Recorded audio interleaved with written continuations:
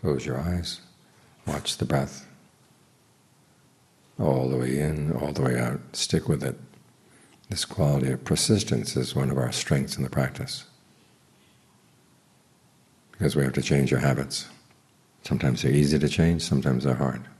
But as the Buddha pointed out, even in the Four Noble Truths, we've got some bad habits. We're going about looking for happiness in the wrong way. We have to change our ways. Sometimes you can change quickly. Other things lie deeper and it's going to take time. That's when you have to stick with it. That's the real meaning of patience in the Buddhist teachings. Sometimes you think someone who's patient just sits there and waits. That's not the case. You realize there's work to be done and you keep at it, keep at it, keep at it. You don't stop and say, when, when, when are the results going to come? I want them right now, right now, right now. If that's your approach, you're not going to get very far. You give up. Then you start again, give up again. But if you realize that some of your habits are deeply ingrained, and they're going to take time, you stick with it. And you learn how to talk to yourself along the way. Give yourself encouragement. As the Buddha said, he would instruct, rouse, urge, and encourage his students. Four verbs. One of them is the giving information. The other three are giving energy. So you have to learn how to give energy to your practice.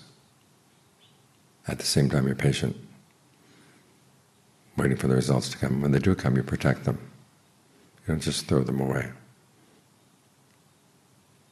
This is one of the basic principles of the practice is not only when you're sitting here with your eyes closed, but when you open your eyes, you're very careful about what you look at. When you open your ears, what are you're listening for.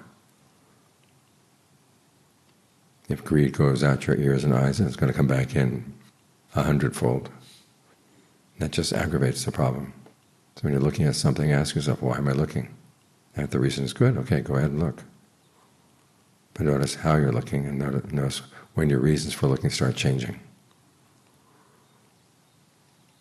You've got to learn how to protect what you've got, protect your efforts, encourage them when they need encouraging, when they start showing just a little bit of result, we'll protect those results. Don't throw them away. Redwoods grow out of little tiny seeds. When the seedlings come out, they're very, very small. But they have a lot of potential. And this applies both to bad mental states in the mind and good mental states in the mind. So a lot of times you're going to be dealing with little tiny seeds in the mind. And you wonder, when do I get to the big issues? Well, the big issues are right there in the seed form. That's why you have to keep dealing with individual things as they come up. You're not doing battle with craving in the abstract, you're doing battle with individual cravings as they come, as they come. So be persistent and patient at the same time. And that combination will see you through.